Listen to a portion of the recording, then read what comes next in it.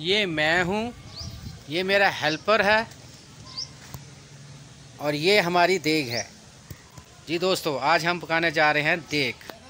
जी दोस्तों, आज मैं देग पकाने जा रहा हूँ दस किलो बीफ की। हमारे दो दोस्त प्रमोट होकर नेक्स्ट ग्रेड में चले गए हैं और उनकी आज हमने दावत की है और दावत की सारी ज़िम्मेदारी मेरे पे और आज मैं देग पकाऊँगा दस किलो बीफ की और आपको बताऊँगा कि देग कैसे पकाई जाती है। तो मेरी वीडियो को एंड तक देखते रहिए। दोस्तों, ये दस किलो बीफ है और इसके साथ जो लवाजमात हम यूज़ करेंगे, जो पकाने के लिए इस्तेमाल करेंगे, वो भी आपको अभी मैं बताता हूँ। इसको भी हम धोएँगे और धो के इसको सबसे पहले हम बॉईल करेंगे। दोस्तों, ये हमने बीफ को धो लिया है और धो के हम इसको देग में डाल रहे हैं और उसके बाद हम इसको बॉईल करेंगे। पानी डाल के अब इसको हम नीचे आग जलाएँगे और इसको बॉईल करेंगे, उबालेंगे। ताकि ये गोश्त थोड़ा सा गल जाए। दोस्तों, ये आग लगा दी हमने, और अब ये बॉईल हो रहा है गोश्त। और देखते हैं इसको कितना टाइम लगता है। गोश्त ठीक है मेरा ख्याल है, ये 20-25 मिनट लेगा बॉईल दोस्तों थोड़ी थोड़ी देर बाद इसको हला लिया करें ताकि गोश्त सारा एक जैसा हो जाए। ये ना होगा नीचे वो गलता रहे और ऊपर वाला गोश्त ना गले, इसलिए इसको हला लिया करें। पाँच सात मिनट बाद इसको।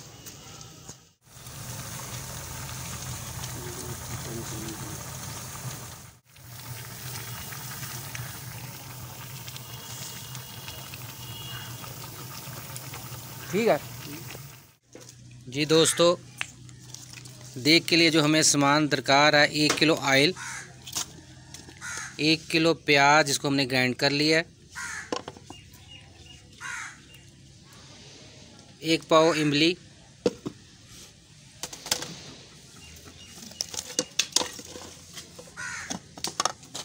एक किलो टमाटर की पेस्ट जिसको हमने टमाटर को भी ग्राइंड कर लिया है। एक पाव लहसुन और अदरक की पेस्ट, ये भी हमने ग्राइंड की हुई है। और एक पाव हरी मिर्च, इसको भी हमने पेस्ट बना ली है।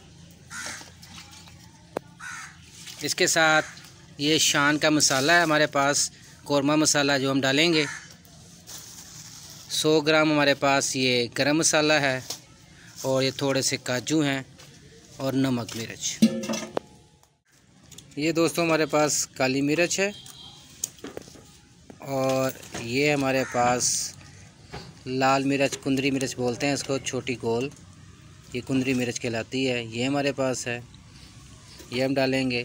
और इसके अलावा टॉपिंग के लिए हमने अदरक धनिया लीमू रखा हुआ है वो भी अभी आपको मैं दिखाता हूँ। ये हमारे पास टॉपिंग का सामान है जिसमें हरी मिर्च लीमू धनिया और अदरक है। ये जब हम बना लेंगे तब इसमें हम ऐड तो ये हमारा गोश्त बॉयल हो गया है, अब हम इसको निकाल रहे हैं और अब थोड़ा सा मसाला भूनेंगे और फिर हम इसमें दोबारा गोश्त को डाल के, भून के दोबारा देख पकाएँगे। मसाला हमने पहले इसलिए ग्राइंड कर लिया था कि हमारे पास वो ग्राइंडर नहीं है जो देख के अंदर ही ग्राइंड कर सके। इसलिए हमने पहले उसको ग्राइंड कर लिया और अब उसको भूनेंगे और फिर गोश्त डाल के उसकी बुनाई दोबारा करेंगे। दोस्तों, ये अब हम ऑयल डाल रहे हैं। इसके अंदर जाले जमी सब ये जाए डल गया अब इसके अंदर। अब इसके अंदर हम प्याज डालेंगे, जो हमने ग्राइंड किया हुआ है, और उसको हम, उसकी बुनाई करेंगे। ये हम प्याज डाल दिया जनाब, और अब इसकी बुनाई हो रही है आप आवाज़ सुन सकते हैं। अच्छी तरह से बुनाई कर रहे हैं। हल्का सा जब ब्राउन हो जाएगा प्याज, फिर हम बाकी सामान इसमें डालेंगे। तो मैं आपको पहले भी बता चुका हूँ कि ये जो ग्राइंड करते हैं, देग में डाल के उनका बड़ा ग्राइंडर होता है, वो डाल के इसमें ग्राइंड कर लेते हैं।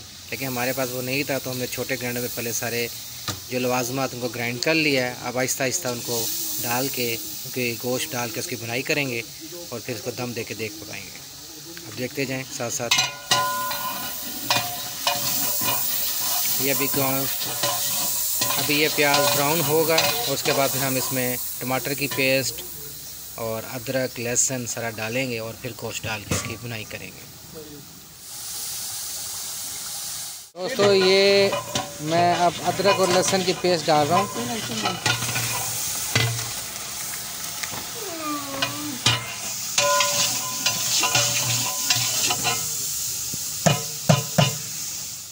टमाटर की पेस्ट हम डाल रहे हैं, इसके अंदर दोबारा। डाल दें। तो इमली हम डाल रहे हैं, इमली का पानी गुटलियाँ निकाल लेंगे और खाली पानी डालेंगे।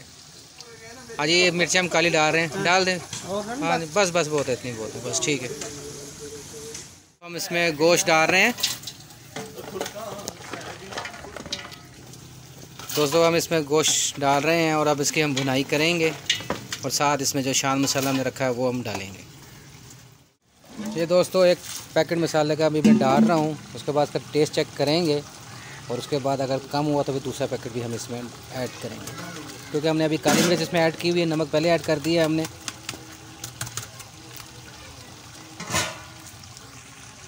ये हम दही डाल रहे हैं इसके अंदर। मसाला कम है तो हमने दूसरा पैकेट भी इसमें डाल दिया है और हम गरम मसाला भी अब इसके अंदर ऐड करेंगे। डाले भेज में सब गरम मसाला।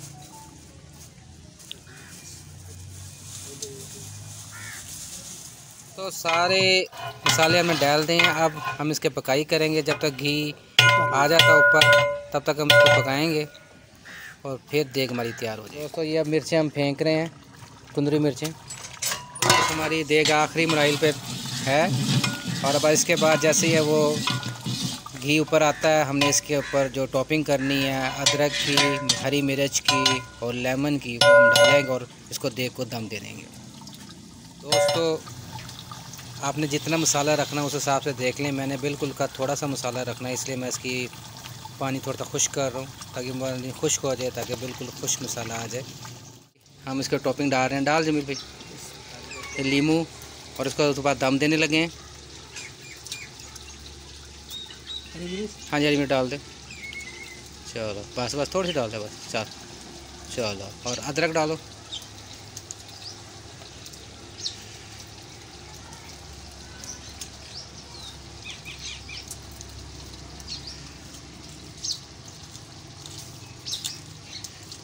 धनिया डाल।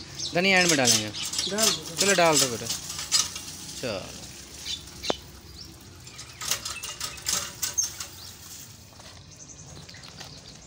चलो बंद कर तो ये अब हमने दम दे दिया है। दस मिनट के लिए नीचे कूले रख के और दस मिनट बाद आप इसको देखो अपने इस्तेमाल में ला सकते हैं।